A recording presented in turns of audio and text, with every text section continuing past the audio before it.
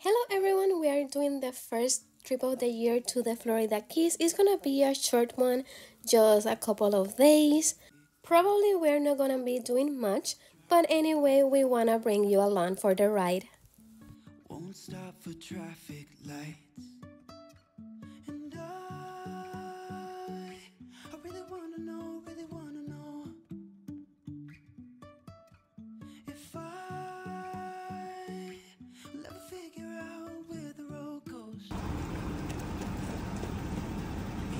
Minas.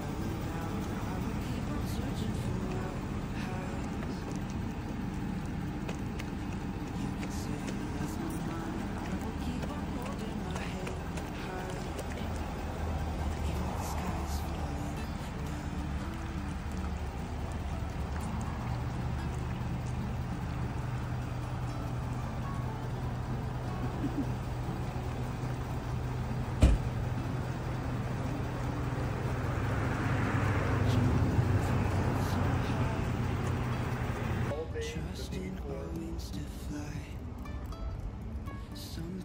crashing down But we get up and start from the ground. And I, I really wanna know, really wanna If Apollo sees you, buddy You're gonna have to run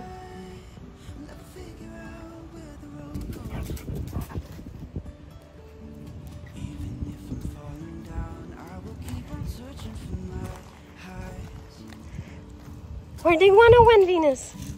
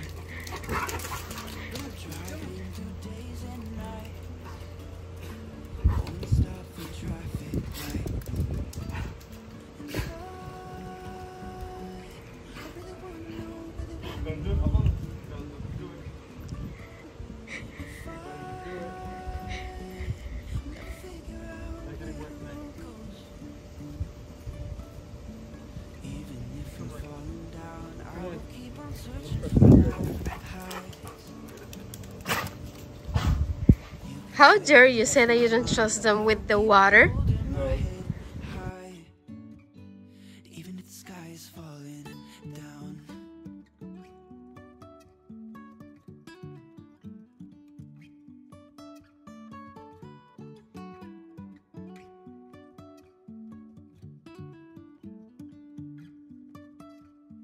Jumping from cliffs so high Trusting our wings to fly Sometimes we're crashing down Finally, we are getting good weather. We are in between the 60s and 50s, so I want to be outside with Venus and Apollo, read a little bit of my book. Right now, I'm reading Powerless by Lauren Roberts. I'm not sure 100% this is going to be the greatest book of the year, but so far it's not terrible. Well, I think it's time to stop reading since Venus decided it was time to lay on my book. I didn't put him there, he just got there by himself.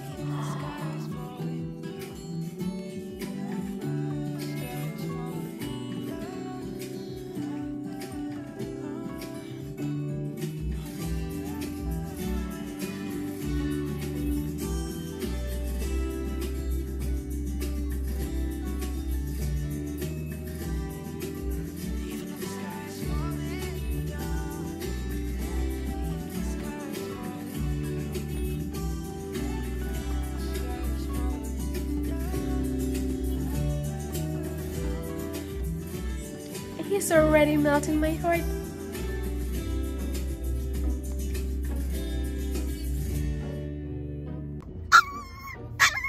We are on our way to the vet and he's screaming bloody murder and I feel so bad. I want to take him out. Uh, but I can't. I need to let him scream. He needs to get used to, to traveling on his backpack. Especially the I would like to take him on planes and stuff like that. So I'm gonna let him cry for maybe five, ten minutes. The vet is right around the corner. And then I will take him out for probably 20 minutes and put him back again for another 20 minutes until he stops crying and start getting used to. I feel so bad, but this is part of training, sadly. It took 13 minutes to get from the house to the vet, and finally, he stopped crying, but it broke my heart for how long he cried.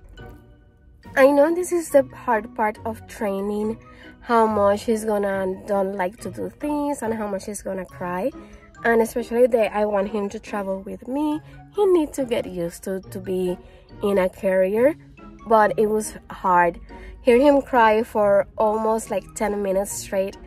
It broke my heart. Now we're going to the vet to do his checkup. Part of the contract from the breeder was that he need to be checked up in the first five days and also I want to microchip him in case we lost him somewhere.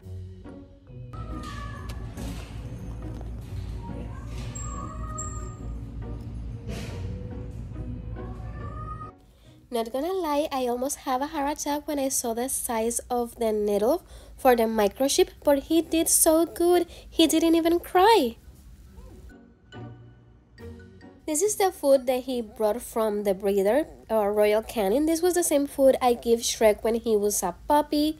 So I'm used to, to this formula for puppies. But I want to start introducing to him home cooked food. Like it doesn't have any salt or anything. It's just chicken with vegetables.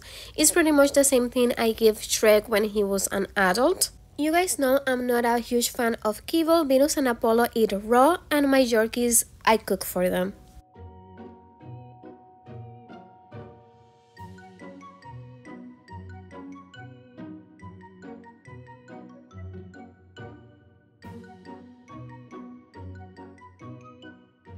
A question that we have been getting over in Instagram is how Venus and Apollo are doing with the puppy.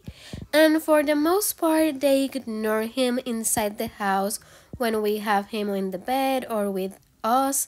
Uh, they do want to play with him when he's in the floor running, so I don't let them. I'm scared that they will step on him and crush him by mistake.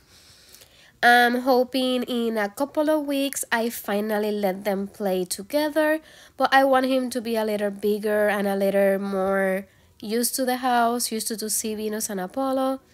So let's see how that goes. But for now, I will leave you with a little montage of baby Bowser playing with his toys and looking extremely cute. Thank you for watching. See you in the next one. Bye!